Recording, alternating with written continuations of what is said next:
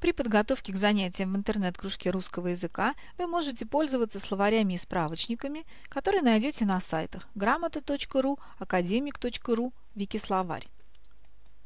Сегодня мы поговорим о расхождении в звукобуквенном составе слова.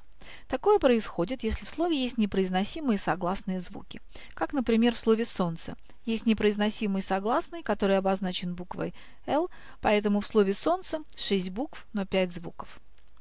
Расхождение в звукобуквенном составе слова происходит и в том случае, если в слове есть удвоенные согласные, как, например, в слове «бессонный». В этом слове удвоенное согласное «с» обозначает один долгий согласный звук «с».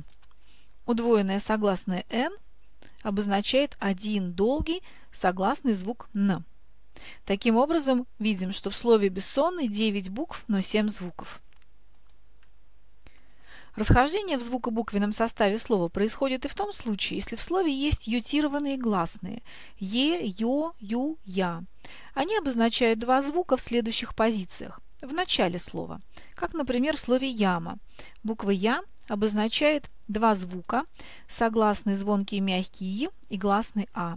Таким образом, в слове «яма» три буквы, но четыре звука. Ютированные гласные могут обозначать два звука в позиции после гласного, как, например, в слове «пою». Буква «ю» обозначает два звука – согласный и гласный. Поэтому слово «пою» состоит из трех букв, которые обозначают четыре звука. Дютированные гласные могут обозначать два звука, если они стоят после мягкого или твердого знака. Как, например, в слове «съем». Буква «е» обозначает два звука – согласный, звонкий и мягкий, и гласный. Но в слове «съем» четыре буквы и четыре звука, потому что буква «твердый знак» отдельного звука не обозначает. Расхождение в звукобуквенном составе слова происходит и в том случае, если в слове есть буквы, мягкий и твердый знак. Они звуков не обозначают. Поэтому в слове «конь» четыре буквы, но три звука. Мягкий знак обозначает мягкость предыдущего согласного. Теперь мы с вами поговорим о том, что такое вид глагола. Глаголы бывают двух вида – совершенного и несовершенного. Глаголы совершенного вида отвечают на вопрос «что сделать?». Обратите внимание, в глаголе вопроса есть буква «с», и это глагол совершенного вида. Это будет небольшая подсказка. Глаголы совершенного вида могут обозначать результат действия «что сделать?», «решить», либо однократность действия «что сделать?», «прыгнуть», то есть выполнить это действие один раз, либо начало действия «что сделать?», «запеть». Глаголы несовершенного вида отвечают на вопрос «что делать?». Глаголы несовершенного вида могут обозначать продолжительность действия, например, «решать».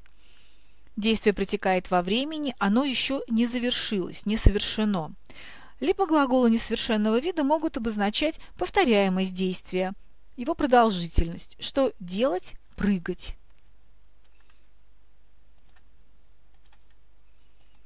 Теперь давайте вспомним, что в глаголах прошедшего времени перед суффиксом «л» пишется та же гласная, что и в инфинитиве перед «те».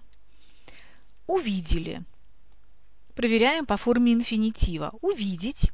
Перед «те» пишется гласная «е», значит в форме прошедшего времени перед суффиксом «л» мы тоже должны будем написать гласную «е». Приклеили. Прошедшее время есть суффикс «л», проверяем форму инфинитива. Приклеить. В инфинитиве пишется «и», значит и в форме прошедшего времени перед суффиксом «л» мы должны написать букву «и». Надеялись. Ставим начальную форму в инфинитив «надеяться». Видим, что здесь нужно написать букву «я» перед «тем». Значит, и в прошедшем времени мы тоже должны будем написать букву «я». Надеялись.